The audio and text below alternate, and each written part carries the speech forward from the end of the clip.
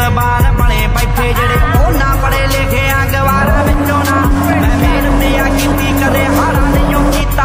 Publicity ਲਈ ਕੋਈ ਪਵਾੜਾ ਨਹੀਂ ਕੀਤਾ। ਜੋ ਵੀ ਆ ਮਕਾਮੇ ਅੱਜ ਦਿੱਤਾ ਰੱਬ ਨੇ ਸਦਾ ਕੀਤੀ ਆ। ਸਪੋਰਟ ਕਦੇ ਸਾੜਾ ਨਹੀਂ ਕੀਤਾ। ਮੂੰਹ ਤੇ ਬਾਈ ਬਾਈ ਵਿੱਚੋਂ ਸਾਲੇ ਰੜਦੇ ਮੇਰੇ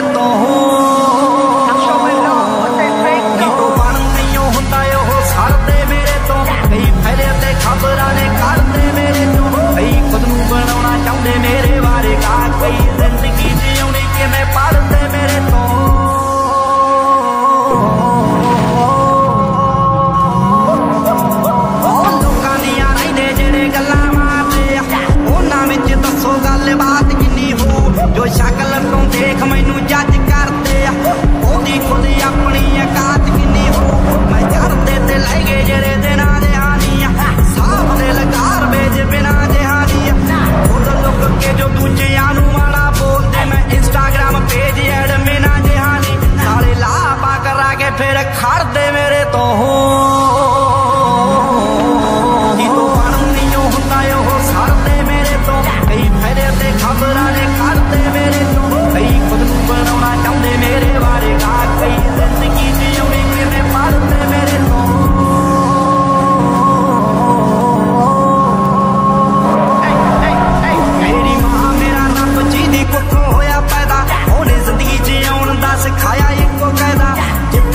ਪੁੱਤਰਾ ਜ਼ਮੀਨ ਮੁੱਕ ਗਈ ਆ। ਹੁਣ ਮਰ ਜਾਵੀਂ ਉੱਥੇ ਕੋਈ ਜਿਉਣ ਦਾ ਨਹੀਂ ਫਾਇਦਾ।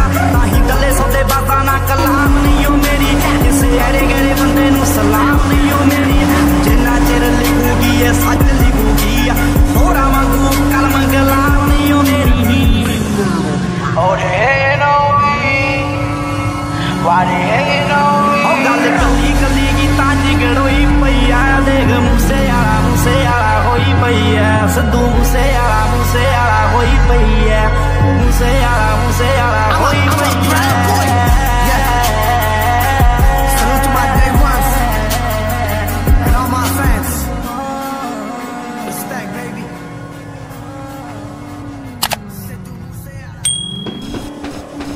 Yeah. Uh. Yo, what's up? Just arrived live.